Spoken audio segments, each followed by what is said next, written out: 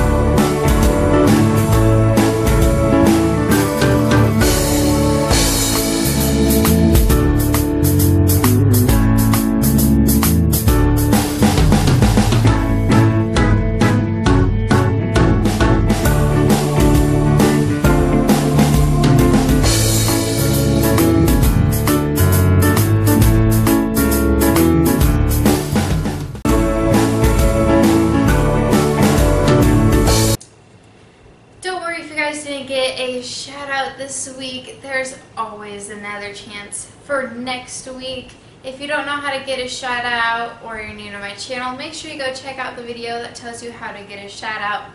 Thank you guys. Bye.